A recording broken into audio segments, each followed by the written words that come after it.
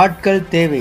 ARMPS முறையில் வீட்டிலிருந்தே வேலை வாய்ப்பு எங்களது யூடியூப் வீடியோ மற்றும் வியாபாரங்களை சோஷியல் மீடியாக்களில் ஷேர் செய்வதன் மூலம் வருமானம் தரும் வியாபார வேலை வாய்ப்பு வருமானம் ரூபாய் பதினெட்டாயிரம் முதல் மூணு லட்சத்தி இருபத்தைந்தாயிரம் வரை. இது ஒரு பகுதி நேர வேலை. தகுதி PAN card Aadhaar card smartphone. Age limit பதினெட்டு முதல் நாற்பத்தைந்து வரை. மேலும் விவரங்களுக்கு வாட்ஸ்அப் மெசேஜ் செய்யவும்.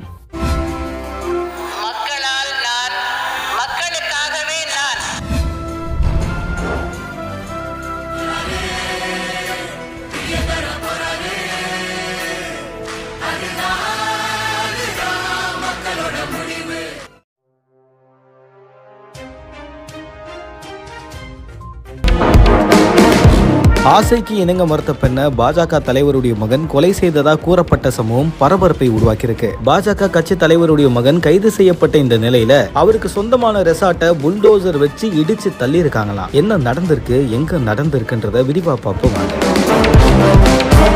உத்தரகாண்ட் மாநிலத்தை சார்ந்தவர் முன்னணி பாஜக பிரமுகர் வினோத் முந்தைய ஆட்சி காலத்துல பாஜகல இவர் அமைச்சரா இருந்ததா சொல்றாங்க. இவருடைய மகன் பேரு புல்கித் ஆரியா புல்கித் ஆரியா லட்சுமண் ஜோரா அப்படின்னு அழைக்கப்படுற பகுதியில வனந்திரா அப்படின்ற பேர்ல ஒரு ரெசார்ட்டை நடத்தி வந்திருக்காரு. இந்த ரெசார்ட்ல கடந்த ஒரு மாசத்துக்கு முன்னாடி பத்தொன்பது வயசான ஒரு பெண்மணி வேலைக்காக சேர்ந்திருக்காங்க. புல்கித் ஆரியாவுடைய ரெசார்ட்ல இந்த பெண்மணி ரிசப்ஷனிஸ்டா ஜாயின் பண்ணியிருக்காங்க. இந்த நிலையில கடந்த ஐந்து நாட்களுக்கு முன்னாடி ரெசார்ட்டுக்கு பனிப்பெண்ணா வேலைக்கு போன என்னுடைய மகள் வீடு திரும்பலையேன்னு பெத்தவங்க பதறி போயிருக்காங்க. பதறி போன குடும்பத்தினர் போலீஸ் கிட்ட புகார் கொடுத்திருக்காங்க.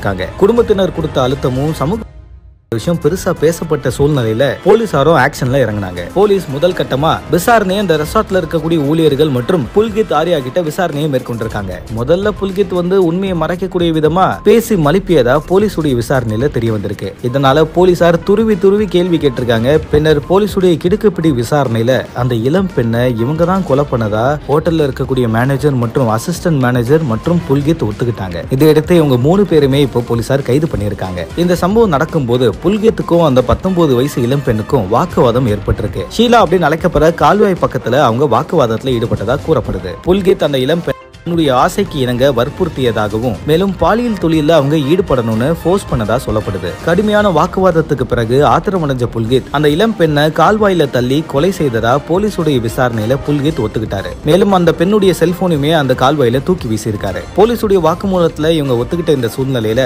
போலீசார் ஓட்டல்ல வேலை செய்யக்கூடிய மேலாளர் துணை மேலாளர் மற்றும் புல்கித்தை இப்போ போலீசார் கைது பண்ணியிருக்காங்க. தன்னுடைய ஆசைக்கு இணங்க மறுத்த பெண்ணை பாஜகவுடைய தலைவருடைய மகன் கொலை செய்த சம்பவம் பெரிய பரபரப்பை அந்த மாநிலத்தில் உருவாக்கியிருக்கு.